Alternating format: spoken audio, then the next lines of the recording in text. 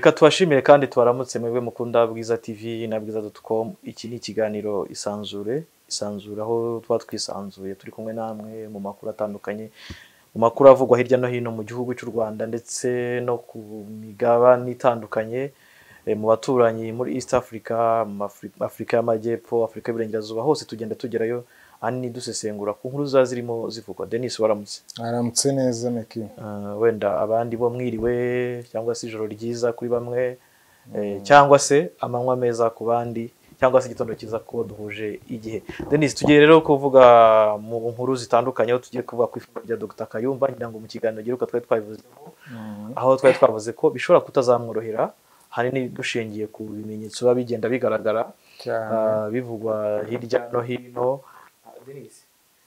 kayumba byaragutunguye kuba afunzwe ukurikije n'ibyo n'igihe igihe cyari gishize n'uko nawe yari ameze n'uko yavugaga cyangwa se n'umwuka wari uhari. Ntabwo byanunguye ngewe rwose kuba yarafunzwe kuko n'ubundi eh, n'ikirego yaregwaga cyari pendingi ntabwo cyari bwarangire. Cyari kikiri mu iperereza. Cyari kikiri mu iperereza. Mm. Mm. aho rero yari yatumijwe urupapuro rusakara ku mbuga nkoranyambaga abantu bati agiye kwitaba RIB ba- bumvaga wenda ko ashobora kugaruka nk'uko byagenze ubushize dore ko atari ubwa mbere kayumba yarahamagajwe cyane. Mm. uyu mugabo rero ufite impamyabushobozi y'ikirenga uh, phd mu bijyanye na ndakeka ari peace co- conflict cyangwa se eh, ariko ni muri politiki eh, siyansi na politiki. Akaba yarabaye umwarimu muri kaminuza y'u rwanda aho yigisha ibijyanye n'itangazamakuru. Ni umuhanga mu bintu bijyanye n'ubushakashatsi mu gukora ubushakashatsi cyane cyane kuri polisi zijyanye na good governance eh, ku itangazamakuru dore ko yagiye akora ku bushakashatsi bwinshi. Uyu mugabo rero akaba aherutse gushinga ishyaka eh, ishyaka denis eh, yashinze bigatangira kugaragara ko ibyo ari byose ikibuga arimo ukurikije n'ibyo yaregwaga bitazamworohera denis cyane yashinze ishyaka rwandizi platform for democracy. Mm. Ku itariki cumi n'esheshatu nubwo byatangajwe ko ryagiye ahagaragara z'ukwezi kwa gatanu ariko eh, nyuma y'umunsi umwe gusa ku itariki ya cumi na karindwi ni bwo hatangiye kuri twitter eh, hatangiye gukwirakwizwa amakuru avuga ko uno mugabo ngo yaba yaragerageje gufata ku ngufu. Eh, umunyamakuru. Umunyamakuru n'umunyeshuri yigishije. Ibi bikaba byarakwirakwiriye ariko atari ibyo gusa abandi bamu- bamugarurira videwo Mm, zigaragaza kayumba yanyoye. Ngira ngo ni nk'inkoni yakubitwaga.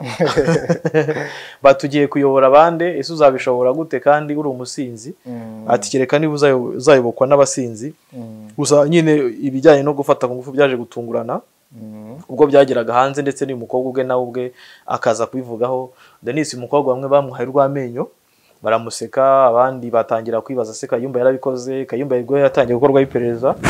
Denis kugeza uyu munsi wa none eh, ku munsi w'ejo ah, tariki ya cyenda ni bwo urwego rw'igihugu rw'ubugenzacyaha rib rwatangaje ko rwamutaye muri yombi mm. icyo gihe kandi abantu ba- bibajije impamvu icyaha bivugwa ko cyakozwe muri bibiri na cumi na karindwi cyari kibyukijwe nyuma y'imyaka ita- ine yose yego denis ariko urwego rw'ubugenzacyaha ngira ngo mu- biciye umuvugizi warwo hagiye havugwa ko icyaha kidashobora gusaza ndetse n'abantu benshi bagiye bagarura amategeko ah, abasha guhana kino cyaha ba- bivuga ko iki cyaha ubwacyo kimara imyaka icumi. So imyaka icumi rero ugereranyije n'igihe iki cyaha byavuga ko cyakorewe ntikirasaza ibi rero ntibivugwa denis kuri kuri ntabwo icyaha kiramuhama gusa ah, yatawe muri yombi ahanini bitewe n'iki cyaha denis Mm, kayumba rero akaba agiye yongeye gufatwa nyuma y'igihe nanone yafashwe akamara umwaka niba ata- utarenga ari muri ndakeka ushobora kuba utararengaga cyangwa se umwaka ah, urimo ah, aburana ku cyaha cyo gukorera ah, gusagarira cyangwa se kugara- kugaragaraho ubusinzi ku kibuga cy'indege. Ngira ngo kayumba yasohotse avuga ati yasohotse ari nabwo denis yahise atangira kugaragaza ibitekerezo bye muri politike. Mm. Eh, urebye kayumba yasohotse nawe ari umurakare. Yasohotse yarakaye. Ati rwose kiriya cyaha bandeze ngewe nubwo nagifungiwe ntabwo nyemera. Mm. Nta n'ibimenyetso bashobora kunyereka. Yasohotse ari umurakare w'ubutegetsi dore ko eh, yafunzwe. Yasohotse rero avuga ko ashinze ishyaka ndetse asohoka avuga ko hari abantu benshi bafungwa ah, barenganyijwe. Hanini akavuga ati umuntu amara iminsi mirongo itatu kugira ngo ibyo bintu yagiye ayitsaho cyane. Iminsi mirongo itatu igasohokamo ariko ntawe ushobora kumwishyura ibijyanye n'impozamarira. Mm, ntawe- igihe yafungiwe.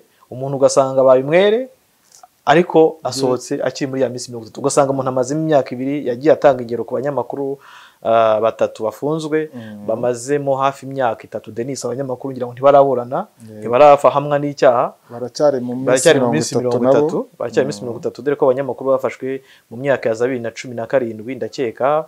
Niba atari bibiri na cumi n'umunani cumi n'umunani Eh, kuri cya gitero cya mbere cya Nyabimata. cyabereye i Nyabimata. Abanyamakuru bakaba baragikozeho inkuru bazanamo ibintu bimeze nko gukabya inkuru cyangwa se eh, gutera ubwoba kuko byaturutse ku nkuru yakozwe Denis kuko abanyamakuru bakimara gukora iyo nkuru nta n'iyindi nkuru bari bigeze bakora kuri YouTube yitwa Iwacu. Rero Kayumba yagiye agaragaza comment cyane cyane atanga ingero yigeze no kuvuga kuri cyuma cyuma ubwo yafungwaga. Ah, urebye Kayumba yakunze gutanga ingero ku bantu bamwe bagiye bafungwa bakekwaho ibyaha bijyanye no eh, gukwirakwiza ibihuha cyangwa se ibindi byaha Denis eh, aho uyu mugabo yagiye agaragaza nanone eh, ibita- ibitarakozwe neza mu ngamba za covid cumi n'icyenda Ah, akagenda avuga nanone ku bukungu bw'igihugu aho yagiye agaragaza ko ubukungu bw'igihugu buri habi ahanini ashingiye kuri raporo zavugaga ah, zavugwaga na- zitangwa n'ibigega mpuzamahanga birimo ntuza ah, IMF ndetse na banki mondiale Eh, Kayumba nawe akabikoraho comment agaragaza ko ubukungu buhagaze nabi hanini bitewe n'ingamba zikomeza gufatwa. Denis zifatwa ah, kubera ah, iki cyorezo cya covid cumi n'icyenda we akagaragaza avuga ko izi ngamba leta ifata ziri kujyana abantu mu bukene.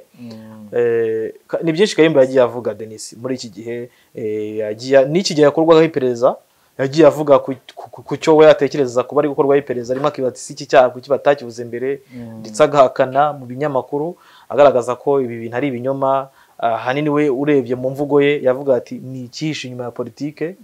Eh, ati ni ibya politike ntabwo ari ibintu by'ukuri. Eh, na mbere y'uko ngo ajya kwitaba runo rwego ru- rushinzwe ubugenzacyaha kayumba ngo yari arimo arategura kujyana ibiganiro n'abanyamakuru cyane agasobanura icyo abona nk'intandaro yo kongera gutumizwa n'uru rwego rwa rib Eh, umwe rero mu bo bavuganaga ni umunyamakuru Dieudonne Niyonsenga nyine wa wundi twavugaga cyuma. Cyuma cyuma nawe ukunze kugaragazwaho nk'umuntu ufite ingengabitekerezo mu masosho media aho abantu benshi bakunda kubwira rib uti nyamuneka mute muri yombi.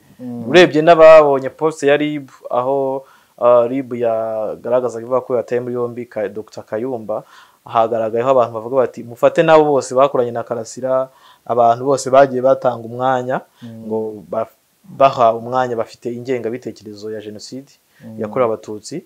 Cyangwa se kugaragaza kugarura ingengabitekerezo eh, tom ni ukunze kuvuga ngo na power cyangwa se kugarura ingengabitekerezo ya parimehutu So, rero denis urebye eh, ibivugwa kuri social media ni byinshi cyane cyane buri ushaka kureba ah, amakuru adasanzwe ushobora kujya kuri twitter. Twitter ni ho iba iriho intambara aho abantu bajyaho bagahangana cyane cyane ibitekerezo bya politike cyangwa se abacubya abandi. Bitewe n'ibitekerezo abantu batanga ah, ndetse n'abapolitisiye benshi bajya kuri twitter baka abashaka kunenga leta bashobora kuyinengira kuri twitter. Rimwe na rimwe nanone n'abashyigikiye leta nabo bakaza guhangana na ba bandi bari kunenga leta. Cyane cyane ko hari ibitekerezo byinshi abantu baba batumvikana Denis Eh, Kayumba kandi dusubiye inyuma gato yigeze mu ibaruwa yigeze kwandikira umukuru w'igihugu agaragaza bimwe mu bintu bitagenda neza. Eh, ya- hari aho yageze yibutsa ko ngo imyumvire y'abaturage bafite ku butegetsi yakagombye guhinduka akavuga ko bagakwiye kubona ubutegetsi eh, batagakwiye kubona umutegetsi cyangwa abategetsi nk'umubyeyi ahubwo aba- abategetsi ngo ari abakozi b'abaturage ibyo bintu yigeze kubivuga. We yavuze ko nta muturage ukwiye kwita leta umubyeyi. Yego. Yagiye abivuga kenshi cyane kayumba ndetse eh, byagiye binyura mu bitangazamakuru cyane. Mm. ariko denis kikaba ari ikintu kigoye kuba abanyarwanda bakoramo ko leta ari umubyeyi. Kuko eh, kuva kera hose abanyarwanda bavuga ko leta ari umubyeyi. Cyane cyane bashingiye ku byo abayobozi bakora bakavuga bati leta ni umubyeyi leta ni umubyeyi. Eh, iyo urebye denis mu mateka y'u rwanda we kayumba avuga ko ikintu gituma abanyarwanda bahura n'ibibazo ari uko bafata abayobozi bakabita ababyeyi. Mm. ariko nyamara biragoye kubikuramo umunyarwanda umubwira ko leta atari umubyeyi. Cyane. Na cyane ko akenshi iyo umuturage agize ikibazo nyine usanga atakira leta. Atakira leta. Ati ni wowe ugomba kunkemurira ikibazo. Eh, ku rukuta rero rwa twita rw'urwego rw'igihugu rw'ubugenzacyaha basobanuye ko eh, uyu munsi bagiraga bati uyu munsi ubwo n'ejo hashize ku wa kane. Mm. Eh, RIB yafunze Dr. Kayumba Christopher nyuma y'igihe ikora iperereza ku byaha yarezwe n'abantu batandukanye byo gukoresha undi imibonano mpuzabitsina ku gahato. Ngo n'ubwinjiracyaha kuri iki cyaha Mm. byumvikane ko ashobora kuba kino cyaha ataragikoze ku muntu umwe niko bashaka kubigaragaza Eh, bishoboka ko atagikoze ku muntu umwe Mm. eh, bigaragara kayumba nyine nk'uko uyu mukobwa yabimushinjije eh, cyangwa se ibyo bavuga wenda iperereza rishobora guhera kuri uwo mukobwa denis ukurikije uko byumva siko rib yabivuze Mm. ariko usesenguye iyo tweet cyangwa usesenguye icyo bavuga iperereza rishobora kuba kuri kuri uwo rihereye kuri Fiona wabitangaje. Rikagenda rikaba ryagera no ku bandi bantu cyangwa se hakabaho no gushaka ibindi byaha wenda byaba byarakozwe wenda by'abantu batabivuze kuko abantu bose ntabwo kuba harabonetse wenda ibindi bimenyetso cyangwa abandi batangabuhamya akaba ari na yo mpamvu hari noneho kuri iyi nshuro bamufunze nubwo navugira RIB wenda ifite impamvu. ibi byose wenda umuntu akaba azabimenya igihe hazaba habaye idosiye igeze mu bushinjacyaha cyane ko RIB yavuze ko Eh. dosiye ye igiye gushyikirizwa ubushinjacyaha. Bivuze ko washyikirijwe ubushinjacyaha ah, uba ugiye no kuburana Denis Mm. bikaba rero bigiye ku bwa kabiri kayumba agiye mu rukiko. Uh, dore ko icyaha cya mbere yari yanagihaniwe Ka- Ka- kayumba. Mm. icyaha cya mbere yari yakatiwe ndakeka ari umwaka. Uyu mwaka urangiye kayumba asohoka muri gereza rero ubu bukaba bibaye ubwa kabiri denis kayumba agiye kujya mu rukiko. Yego nyuma y'aho ashinze ishyaka. Nyuma y'aho ashinze ishyaka. Akaba rero nawe yafatwaga nk'umunyepolitike mbere yav- byavuga ko ari umwarimu muri kaminuza y'u rwanda. Ariko uyu munsi wa none eh, kayumba ari kubarwa nk'umunyepolitike kuko banza ataranashyigisha denis ntabwo akigisha. Kuko nyuma yo gufungwa urumva gufungwa ntabwo wigeze wongera kumubona muri ngira ngo yanafungiwe mu bihe bya covid cumi n'icyenda ntabwo wigeze wongera kumubona muri mu bihe bijyanye na, wenda kwigisha kwigisha abanyeshuri ko byava ko na, kaminuza yaba yaramwirukanye. Bitewe n'ingo n'imyitwarire ye bivugwa ko iyo kunywa inzoga agasinda ni byinshi denis biba bivugwa ku, banyepolitike cyangwa se bivugwa mu ku nkuru z'abanyepolitike. Eh, reka rero tuve kuri iyi nkuru buriya byinshi tuzabimenya dosiye ye yamaze kugera mu rukiko. Tujye ku nkuru nanone iri kuvugwa cyane y'aho umukuru w'igihugu ah, ejo yabonanye n'abasirikare bakuru. Ah, ngira ngo denis ni igihe gi- umukuru w'igihugu gikunda kugaruka. Rimwe na rimwe aho eh, buri mwaka tubona akunze kuganira n'abasirikare bakuru. Uburyo tuvuze abasirikare bakuru ni senior officers. Ubwo ni ukuva kuri colonel kuzamura. Sinzi niba abana ba leta colonel baza- baba muri ba senior ariko bashobora kuba bahari simbizi. Ariko urebye ni bano bambara ibintu by'imituku hano nibo baba bari ba senior officers ubwo ni ba colonel kuva kuri colonel kuzamura kugeza kuri ba generali Eh, rero umukuru w'igihugu ku munsi w'ejo yabonanye nabo. Denis ajyana ikiganiro nabo ariko mu biba byitezwe ubanza harimo na ba leta colonel Denis ahari eh, yagiranye ikiganiro n'aba basirikare bakuru ubwo ni bamwe mu bayobozi bakuru b'igisirikare aba bayoboye za batayo za brigade abayoboye ingabo mu- ntara ubwo bafite za diviziyo bayoboye. Eh, urumva rero ah, Denis nta biba bikunze nta bikunze kugaragara hano mu nkuru ziba zigaragara cyangwa zihabwa itangazamakuru by'ibyo baba baganira ariko mu bigaragara ntabwo umukuru w'igihugu ajya kubana nabo ku busa. Mm, haba harimo wenda impanuro agiye kubaha cyangwa se n'ibyo no kubihanangiriza. Mm, kuko hari abantu Denis hari activite haboneka amakosa hakaboneka n'ibyiza. Ariko nta wundi rero ugomba kuba ashobora gushyira ku murongo ibijyanye n'imiyoborere y'igisirikare ibijyanye n'ubuzima bwa gisirikare atari umukuru w'igihugu. Kuko ni we mugabo w'ingabo w'ikirenga mm, Eh, ni we rero ugomba kuvuga ati nyamuneka wenda ibi bikwiye kuba bikorwa gutya eh, nyamuneka hari ibi n'ibi n'ibi n'ibi. Eh, cyangwa se bagiye kureba vision y'igisirikare cyangwa se vision y'igihugu. Ukurikije urabizi ko ah, igisirikare ntabwo gikora politiki. Mm. ariko ah, kiba muri politiki.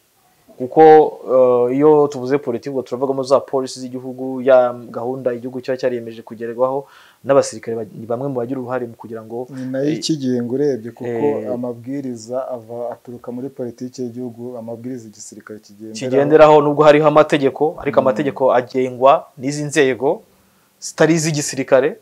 So, rero birumvikana ko umukuru w'igihugu nta kindi urebye Denis ni inama bavuga ko ah, ifite byinshi ivuze. Cyane cyane ku mutekano w'igihugu ku buzima bw'igihugu kuko abasirikare ni bamwe mu nkingi za mwamba bagomba gucunga igihugu kukirebera umutekano ah, no gufasha mu bikorwa bijyanye n'iterambere Denis Mm, ni inama rero ngarukamwaka ubundi bavuga ko ari inama y'akanama k'ubuyobozi bukuru bwa RDF ngo ni RDF High Command Council. Mm, iba buri mwaka eh, yaherukaga mu mwaka ushize yabaye ku itariki ya mbere ukuboza muri bibiri na makumyabiri. Nabwo umukuru w'igihugu nyine akaba yarabonanye n'abayobozi batandukanye b'ingabo. Yego. Mm, so ni uko twabivuga ariko Denis wibuke ko no ku munsi w'ejo ariho umukuru w'igihugu yatanze amaranka ku- kuzamura mu ntera abasirikare bakuru ba- bagera muri batanu. bahawe ipeti rya koroneri. Mm. muri abo basirikare rero bazamuye mu ntera harimo Colonel Francis Regis Gatarayiha uyu nguyu yari amaze iminsi yahoze ari umuyobozi w'urwego rw'igihugu rushinzwe abinjira n'abasohoka. Mm, avuyeho ejo bundi Denis Mm. avuye ejo bundi aho yasimbuwe na ACP yari yasimbuwe na Nkurangarinda uyu nawe ariko wahise usimburwa ajya mu- yindi nshingano. Uwuhe? Linda. Yagiye muri yeshinga yavuye kuri uriya mwanya nyine ajya kuyobora urwego rw'igihugu rw'abinjira. rw'ubutasi ahubwo bwo hanze. Linde yagarutse mu- muri uwo mwanya se? Si ho yagiye se ejo bundi? Oya yagiye mu- kuri, muri immigration. Eh, yagiye muri immigration ni ho yagiye. Mm, so nagize ngo byahindutse nkaba ntabizi. So, undi mu koroneri wahawe umwanya ngira ngo yari letona koroneri ni yahawe iranka rikuru nyine rya koroneri mm, ni wahoze ayobora urwego rw'igihugu rw'i- ngenzuramikorere mm. eh, n'imirimo ifitiye igihugu akamaro ari rwo rura ni Patrick Nyirishema. Eh, Patrick Nyishema wahawe koroneri ngira ngo yarashize igihe kinini abantu batanamwumva Denis mm, uyu mugabo akaba yagizwe koroneri nawe twavuga ko iri peta rimaze igihe kinini? Eh, ukurikije yayoboye urwego rwa rwa rura yari akiri kuri koroneri yari akiri kuri Colonel. letona koroneri uyu munsi nawe yabaye letona koroneri Mm, abandi rero barimo Liyetona Koloneli Karangwa Kepo eh, Mwezi. Uwo bita Lambert Sendegeya na Aimable Rudahunga. Aba bose bahawe ipeti rya koroneri kuko bose bari bari kuri ranka ya letona koroneri Mm, Denis tugiye ku yindi nkuru ni uko ku munsi w'ejo nanone nk'uko twagiye tubivuga abagande ngo bohereje imirambo ibiri mu rwanda. Denis inkuru ibabaje cyane inateye agahinda. Eh, urabona ko abantu ibihugu byahoze bihererekanya za serivisi n'ibi- n'ibindi bintu bifitiye igihugu akamaro. Imirambo barahererekanya imirambo ni nyuma y'uko u Rwanda narwo ruherutse guhereza Uganda umurambo Mm. w'umugande wapfiriye mu Rwanda mu minsi ishize wari warashwe bivuga ko ya- yazanye ibiyobyabwenge eh, ndetse agashaka kurwanya n'inzego z'umutekano z'u rwanda Mm. bikarangira arashwe rero leta ya uganda byari kuri uyu wa kane tariki ya cyenda yashyikirije u rwanda imirambo ibiri y'abaturage barwo baheruka kugwa ku butaka bwayo mu gikorwa cyabereye ku mupaka wa gatuna. Iyi mirambo y'abagabo bivugwa ko baba barishwe irimo wadusayimana theoneste w'imyaka mirongo itanu n'ibiri y'amavuko. N'abantu bakuze wo mu murenge wa rubaye mu karere ka gicumbi. Nabangira inama paul w'imyaka mirongo n'irindwi y'amavuko w'umurenge wa kaniga. Aba bombi imirambo yabo yagaragaye i kabare muri uganda hagati y'itariki ya mirongo itatu kanama tariki ya nzeri bigakekwa ko bishwe bamburwa ibyo bari bafite. Mm. aba bagabo ntawuzi ababishe ariko mu bigaragara nk'uko bikunze kuvugwa denis ni uko inzego z'umutekano zaba zikorera abanyarwanda iyicarubozo zibafataho zibashinja ubutasi. Mm. bikaba rero bivuga ko iyi mirambo yabonywe muri kabare ntago hazwi abayishe denis ibi birabibona gute? Ibi nyine ni cya kibazo gikomeje kugaragaza cy'umwuka mubi eh, uri hagati y'ibihugu byombi ariko ugasanga abaturage bato bato ari bo barimo barabyishyurira cyangwa ari bo birimo biragiraho ingaruka cyane. Mm, nko mu minsi ishize i kabare abaturage bamwe bari bakoze ikintu gisa nk'imyigaragambyo bamagana ngo abanyarwanda bakomeje kwinjira muri uganda. Mm, ndetse hari n'aho ba- bamwe baba bafite ibyapa bavuga ngo abanyarwanda ngo bagiye kubamara. Eh, bigaragara rero ko abagande nabo bashobora kuba barimo baragira umutima ubona ko hasa nk'aho harimo ikintu gisa nko kwihorera ku ruhande rumwe cyangwa urundi. Cyangwa se bakaba bakomeje ibyo batangiye Mhm. kubera ko denis abagande nibo bantu ba- bavuga ko tutabereye tudaciye ku ruhande. Bya- bijya gutangira byahereye muri uganda aho abanyarwanda batawe muri yombi. Bagakorerwa iyicarubozo abandi bakaburirwa amagereza. Mm. Ah, biza kujyaho u rwanda noneho ruvuga ruti banyarwanda mureke kujya muri uganda kuko ibintu ntibyoroshye amazi si ayandi. Imipaka irafungwa denis abagande bati turapfuye bamwe bafu amakamyo aragenda atonda umurongo urubyibuka ko amakamyo yagaragara atonze umurongo yagomba kwinjira mu rwanda. Birangira u rwanda bababwira ruti mwirindire dukore umupaka turimo turubaka byabanje kuvuga ko u rwanda ruri kubaka imipaka.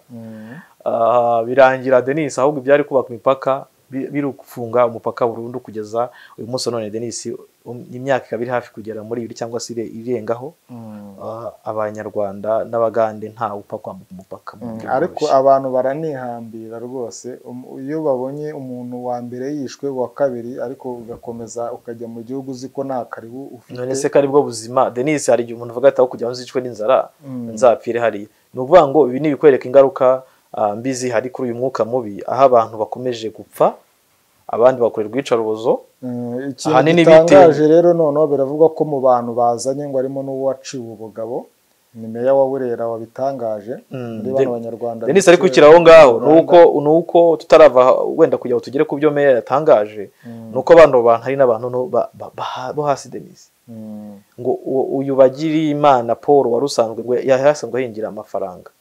Akanifatanya no gutwika amakara muri uganda. Mm, ariko ngo agataha mu rwanda. Bivuga ko yishwe ngo tariki ya mbere nzeri mbere y'uko umuryango we umenyeshwa inkuru y'urupfu rwe bukeye bwaho urumva hashize igihe kinini bano bantu barapfuye denise. Mm. ngo noneho uyu mugenzi we dusabimana theoneste we yapfuye tariki ya mirongo itatu kanama. Urumva bamaze igihe kinini aguye muri uganda aho yakoraga mu ruganda rw'icyayi. Bikavuga ko yishwe ubwo yatahaga avuye gufata amafaranga y'imperekeza kuko yari ageze mu zabukuru. Urumva aba ni abantu wavuga denisi utavuga ngo abantu barakina politike eh, utavuga ni abantu bishakiraga ubuzima umuntu uhingira amafaranga akabatwika amakara Aya, nibemere rero bagwa iwabo nk'uko babigiriwemo inama na leta ngira ngo na Yego. minisitiri w'ububanyi n'amahanga yajya abivuga even na perezida wa repubulika yarabivuze Mm. abwira abantu uti abantu nibareke kujya muri uganda bagirirwa inama yo kutajya muri uganda Mm. kuko bitameze neza bajya bagafungwa abandi bagakora ubwicarubozo ikindi kindi bajya babona abanyarwanda buri munsi. Denis n'ejo hari niba atari ejo bundi hari abanyarwanda bari boherejwe? Mm, kandi ikintu gitandukanye n'u rwanda ni uko byibuze mu rwanda nu- n'umuntu uba wishe uwo mugande bimenyekana ko ari ushinzwe umutekano agatangwa n'impamvu. Ariko bano banyarwanda bapfira muri uganda akenshi nta nubwo hamenyekana abantu babishe. Akenshi usanga atari n'inzego z'umutekano zabishe ahubwo ugasanga ni abaturage basanzwe bagenzi babo.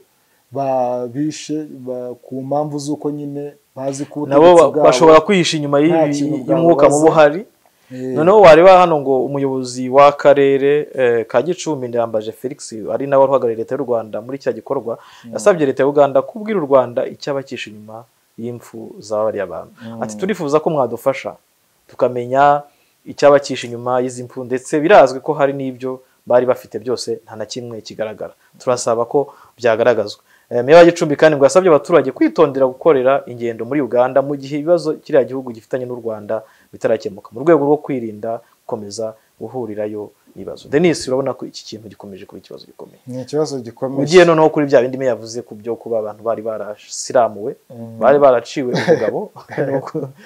Ntabwo ari ugusiramurwa ni ugucirwa ubugabo. Eh, Eh, ni ukubakona. Eh, umuyobozi rero w'akarere ka burera wa nyirigira marie chantal avuga ko hari abanyarwanda bagiye bakorerwa ibyo yise ibikorwa bya kinyamaswa muri uganda bakicwa bakajugunywa mu rwanda aho yatanze urugero rw'umurambo ngo wahageze nta bugabo ufite. Eh, yavuze yagize ati muri kivuye ku butaka bw'u rwanda bashyize umurambo dusanga wambaye ubusa. Baje ba- baje bawuhetse ku biti hari n'uwo bazanye bamuciye ubugabo ni ibikorwa ushatse wavuga ko ari ibya kinyamaswa. Denis rero ni ibikorwa ni ingaruka ah, ziva ku mubano mubi. Ibihugu byombi ibihugu bituranye ibihugu by'abavandimwe eh, bituyemo abantu batandukanye ba- babivamo ah, bari guhura n'ingaruka abaturage guhura n'ingaruka ah, z'umwuka mubi wa politiki. Zo- kuko politiki ntimeze neza hagati y'ibihugu cyangwa se ijyanye na diporomasi eh, kirimo ikibazo kirimo agatotsi kuko nta buhahirane nta mibanire myiza ihari.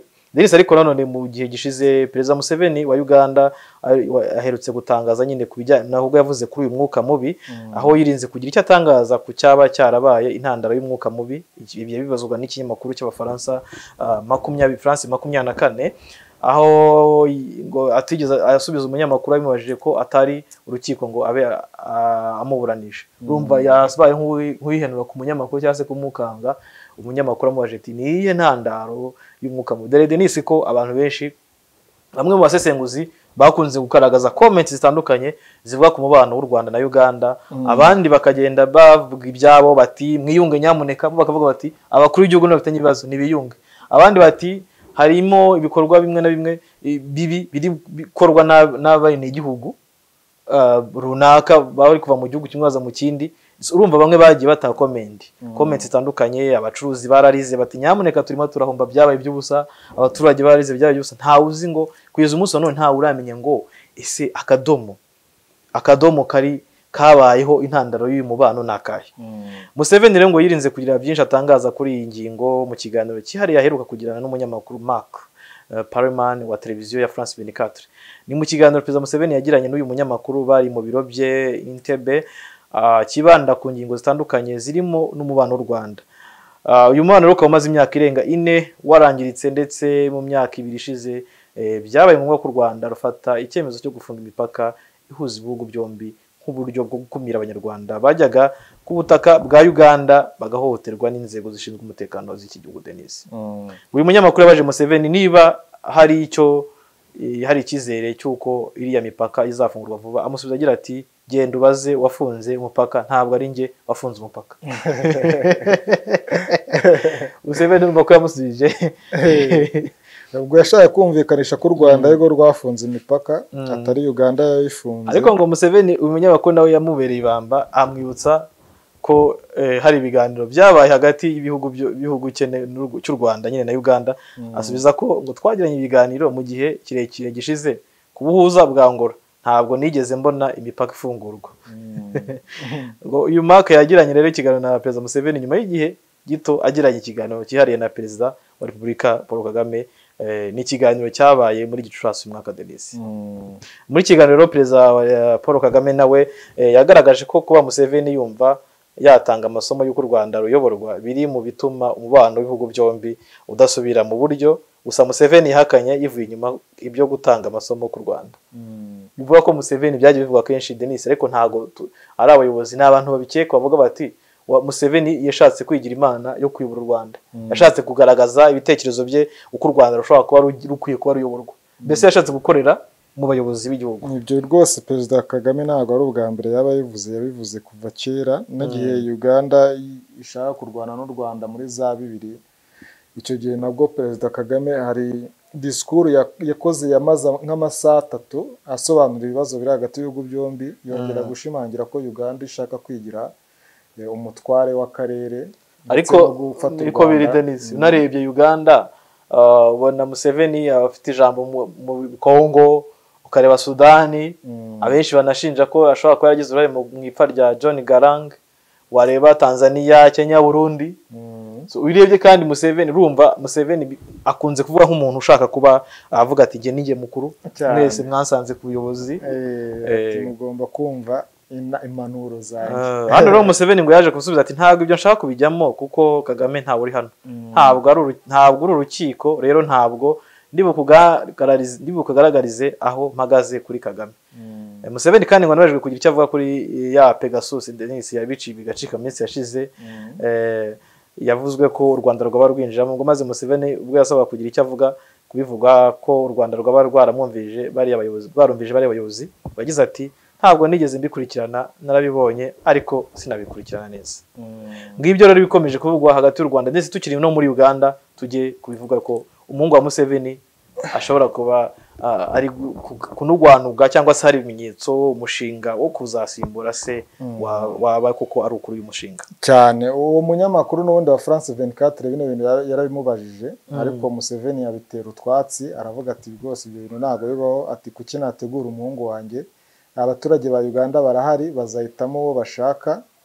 Gusa ibimenyetso biri muri Uganda ku mbuga nkoranyambaga hirya no hino cyane cyane kuri Twitter biragaragaza ibitandukanye n'ibyo hari abantu batangiye gukora ubukangurambaga basa nk'abashishikariza abantu kuzatora eh, ngo muhozi. Eh, mu matora ngo ya bibiri na makumyabiri na gatandatu bakoze n'amafoto ye rwose. Eh, bamwe bagenda bagaragaza urumva ni amafotoshopu mm, babishyira ku modoka. Mm, Ah, urabona ko Denis ukurikije kandi nawe ukurikije ibintu amaze iminsi avugwa mm, avuga iyo unarebye Denis uyu mugabo yabaye umujyanama wa perezida Museveni eh, mu bijyanye n'igira ngo urabizi ko yahuye na special force uyu mu general eh, ubu ngubu akaba ari umugabo w'ingabo zirwanira ku butaka. Urebye uburyo nawe akunze kugaragaza ibitekerezo bye ni umuntu ukunze kuvuga se cyane. Cyane. Umugaragaza nk'intwari muri afurika umunyembaraga umuntu ushoboye ariko nanone ntajya yibagirwa perezida w'u rwanda perezida paul kagame ndetse na fred gisa rwigema nk'abantu batumye se agira imbaraga. Cyane. Akunze kubivuga ati iyo hataba haba abantu ntabwo byari bworohere. Museveni yije bakunda kuvuga ngo generali Museveni. Mm. ntabwo ajya amwita se amwita amwita afande we. Yamwita afande we ariko niko biri ni afande we. Eh, Eh, abantu rero ku mbuga nkoranyambaga kuri twita cyane harimo wita fahadi mm, Eh, bakoze hashtag ubundi bita ngo ni ngo muhozi rugaba 2026 barimo baragenda bayikwirakwiza. Nk'uyu bita fahadi aravuga ati eh, ngo may god bless you mr next president we love you so much. Mm, abavuga nyine muhozi ati imana iguhe umugisha bwana perezida wacu mbese utaha. Mm, turagukunda cyane. Hari n'undi wita katuramu n'umwesigwa we yagize ati vote general mm, muhozi rugaba for president. 2026 ati muzatore muhozi muri bibiri na makumyabiri na gatandatu. Urabona ko abagande barimo bara- baratangira bamwe na bamwe ubwo ni abashyigikiye muhozi. Hari n'uwavuze ati muhozi ati "Ah, miliyoni nyinshi z'abagande zirifuza muhozi nka perezida wa- wacu utaha w'ubutaha ariko Denis iyo urebye izi twita cyangwa izi mbuga nkoranyambaga rimwe na rimwe hari igihe ziba zishaka gutokoza Museveni Mm, uko ukoze ubusesenguzi ushobora gusanga ah, aba babivuga ari uburyo bwo kunnyega Museveni cyangwa se kumuteza rubanda. Bavuga bati "Nimu- ntimureba. Bakabikora nk'aho bashaka kwamamaza uyu muhungu we. Eh, ariko bashaka kumucinya kumucinyiramo. Bavuga ati ntimureba. Arashaka kuza kuko urabizi ko bakunze kumunenga ko eh, yazamuye umuhungu we Mm. eh, agenda amuzamura kugira ngo azamusimbure Yego. bijyanye no kumuha imbaraga kuko urumva imyanya uyu muhungu yagiye acamo ni uburyo kumwereka ati dore ahari imbaraga ni hariya Mm. kuyobora special force uko uyu muhungu ari mu bantu banayitangije hari uyu mutwe ya- yayoboraga bawutangije anawubera umuyobozi urebye uburyo yamazemo igihe ubwabyo ni ukugira imbaraga akaza akagenda akagera muri state house akareba uko bimeze aba umujyanama wa, Museveni. So akagaruka noneho mu gisirikare mu kirwanira ku butaka. Urumva abenshi baravuga bati izi mbaraga uyu muhungu agenda numva ni uburyo kumwereka ibyumba bisa nkaho ah, biba bigize Denis eh, imbaraga igisirikare no kugiramo imbaraga reka kuko kujya ahantu rimwe na rimwe ni bwo ugenda uvuga uti hano mfitemo umuntu mfitemo umuntu ushobora no gushaka abawe sibyo Mm, oya niyo urebye imyaka Museveni amaze ku butegetsi n'imyaka afite ariko ukaba ubona ko ataragira igitekerezo cyo kuburekura ubona ko adashaka kuzavaho gutyo gusa wenda naramuka anabikoze azasigaho umuntu yizeye. Kandi uyu narebye Denis abayobozi benshi abasirikare benshi bagiye muri opposition ah, bashaka kurwanya Museveni ariko byarabananiye. Mm, bamwe baragenda bakanahunga bakagaruka. Bakiza Besigye imyaka bamaze barwana hajeho Bobi Wine ejo bundi ararwana mu matora. Ariko ubu ndagira ngo ino minsi ntari no kuvuga. Mm, byararangiye. Wareba abandi bitwa ba Sejusa baragerageje abo bose. Eh, Denis ngira ngo urebe ba uriya wahoze ari minisitiri w'umutekano. Sejusa muri bibiri na cumi na gatatu ni nawe ni David Sejusa nyine ni generali ni nawe wigeze kwa ku, ku, gushyira ahagaragara wa no perezida? mushinga Mm. wa, wa, wa Muhozi. Mm, ni ibaruwa ndende yanditse asobanura iby'uyu mushinga. Mm, avuga ko ugamije gutegurira Muhozi kuzasimbura se nka perezida. Ndetse anavuga ko abasirikare bakuru bari kurwanya uyu mushinga bari bafite ibyago byo kwicwa. Icyo gihe yaravuganye na BBC avuga ko Uganda irimo iragenda iba ubwami bwa politiki ariko Muhozi aramwamagana. Ibi byanatumye ahunga igihugu yarahunze ajya mu Bwongereza amarayo umwaka wose. Nyuma aza kugaruka Eh, kandi aranakirwa neza. Hari n'abavuga bati kuba Sejusa yarahunze ubwabyo na byo bishobora kuba ari agakino ka Museveni. Mm, eh, avuga ati kugira kuko politiki uba ukeneye umuntu ukurwanya ukeneye challenge. Mm, challenge rero wa mbere avuga ati Sejusa nk'umuntu wabivugaga gutya hanini Denis ah, hari ukuvuga ati uyu muhungu arashaka Museveni arashaka kuzamusimbura. Mm, bisa nk'aho ari uwo gutegura gutegura abantu mu bwonko Eh. kugira ngo bumve ese koko aba bantu bazabyakira neza? Kuko Sejusa agarutse yaje hari ikibazo yigeze agira se? Yamaze iminsi ari aho ariko bigeze muri bibiri na cumi na gatandatu arafungwa ashinjwa mbese kutumvira igisirikare kuko bari baranze no kumu- kumuha kumurekura eh, ariko ntiyigeze atindamo. Eh, ntiyigeze atindamo.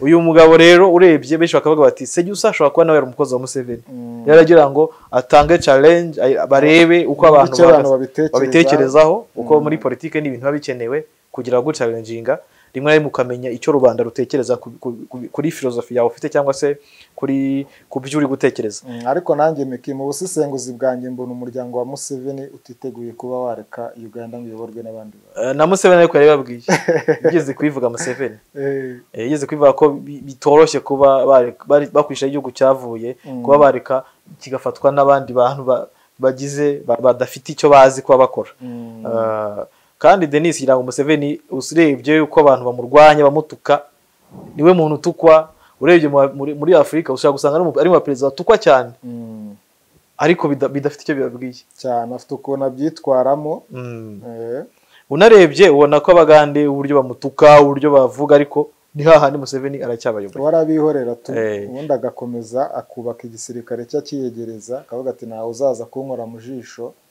Bishoboka rero ko denis hari n'abavuga bati sabiti nawe ni uwo mu muryango we. Urabona sabiti n'abavuga ngo IGP hari n'abavuga ngo ni umuhungu we. Bakavuga ati museveni afite imbaraga ahantu hose mu gisirikare muri polisi. Mm, biragoye rero kuba wajya kuvuga byakugora byakubera ikibazo gikomeye cyane. Mm, so bigaragara rero museveni kandi n'isi birashoboka ah, urebye ibihugu byagiye abantu bafata ubutegetsi bakoresheje imbunda biragoye ko ubutegetsi bapfa kuburekurira abantu. Even n'abarwaniye ubwiyenge mu bihugu bimwe na bimwe wabonye ko mugabe byaramunaniye kuburekura. Mm, birangira yegujwe mu buryo bwa discipline. Eh, wareba even na bihugu bi- twita ngo birimo demokarasi ya Kenya byaje kugaruka n'undi umuhungu wa wa Kenyatta agarutse ku butegetsi. Mm. still uyu munsi aracyayoboye. Niyo narebye abahanganye ubutegetsi muri Kenya ni ba Raila Odinga bo nabari bari inyuma ya, ni Kenyatta. ni abana babo bari kugaruka mu butegetsi. Wanareba no muri CCM ugiye muri Tanzania urasanga n'ubundi abantu barwaniye ubwigenge mm, ba- basa nkaho ba- ba- bari kugaruka muri muri bwa butegetsi. Mm, Denis rero urebye mu bihugu hose ku isi yose unarebye usanga reba nko muri Amerika Bush umuhungu we yaragarutse mm, araza arayobora ukuvuga ngo si ibintu biba binatangaje kuba umwana wawe yazaza akayobora cyangwa yanagusimbura. Ni ibintu ubona ko rimwe na rimwe eh, umwana ukuriye muri politiki ashobora kuzamuka no yumva ko agomba kuzaba nka se. Eh, so Denis rero ngibyo ibiri kuvugwa muri Uganda uyu mushinga ushobora kuba atari wari bivuga mu itangazamakuru. Abantu ikintu bakwiye kuba bamenya bakwiye kuba basesengura natwe icyo dukora ni ukuba dusesengura tugahuza ibintu tugahuza ibintu na biriya. Ariko ikigaragara ni uko nawe uba ukwiye gufata umwanya ugasesengura isi kuko ibintu birashoboka. Mm, ariko birashoboka byose. Bishobora gushoboka ku mukino uyu n'uyu kuko ikivuga muri politiki ko ari kibi ushobora gusanga ari na cyo cyiza Mm, kimwe n'uko ikivuga ko ari cyiza uyu munsi none ari cyo kibi. Mm, kuko akenshi eh, denis abantu bashobora gukora ibyo bita counter intelligence. Ahanini bashaka kumva icyo abantu bavuga. Bashobora no gu- gu- gu- gukereya fujo runaka. Ahanini zishingiye kuri politiki. Bashaka kuvuga bati iyi mitwe ya rubanda imeze gute? Iratekereza iki? Bazadushyigikira ibyo rero bikabaha uko bagomba gutwara abantu. Kuko politiki unarebye usanga denis abantu baba bakinwa nk'agapira abantu bato batazi ibya politiki. Kuko barareba imitwe yanyu abantu barashaka iki? Mm. kuko ye- yego haba hariho uburyo bwo kubaka igihugu. Kubaka igihugu bijyana na- n'amateori denis. Cyane. abantu baba barakoze bashingira wenda ikiba kinagoye nuko abantu bamwe na bamwe bagenda bagafata teori zimwe bakazisoma bakazishyira mu mitwe yabo. Urebye teori zaba Karl Marx z'abakominisiti wajya kuri teori z'aba z'aba Sokarate ukajya kuri teori z'abandi z'abateorisite benshi bagiye bakora. Abantu bagenderaho cyangwa se ukajya kureba muri sisiteme cyangwa style bamwe zi- zishyiraho ubuyobozi cyangwa se eh, zi- zisa nk'izitanga umurongo wo kuyobora. Mm, Ah, wenda ikintu kibagirana mu nuko usanga habamo context. Context zishingiye kuri ya mico abantu barimo ariko ubundi biba ari bimwe. biba ari bimwe. Ni ukuvuga ngo context nizo zishobora gutandukana ah, gusa hari abamira context z'amahanga bakibagirwa ibijyanye na ya miterere y'abantu imico imibereho yabo ubushobozi bwabo mu mitekerereze cyangwa se ubushobozi bwabo muri eh, mu buzima bwa buri munsi. Abantu bakaba babyibagirwa akaba ariyo usanga denis habamo conflict conflict d'intérêt.